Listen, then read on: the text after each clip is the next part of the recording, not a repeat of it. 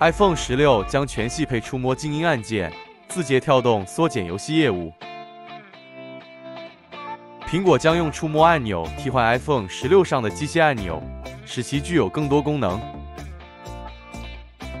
新按钮的代号为 Atlas，与 Touch ID Home 按钮或 Force Touch 触控板类似。新的拍摄按钮也将具有与其他按钮相同的功能。iPhone 十六还将配备更快的 A 十七芯片，潜望式变焦镜头以及 WiFi 七支持。字节跳动将缩减其旗下游戏品牌朝夕光年的业务，它将剥离其成功的在线游戏，并关闭大部分未发布的项目，并将更加聚焦探索创新的游戏和相关技术。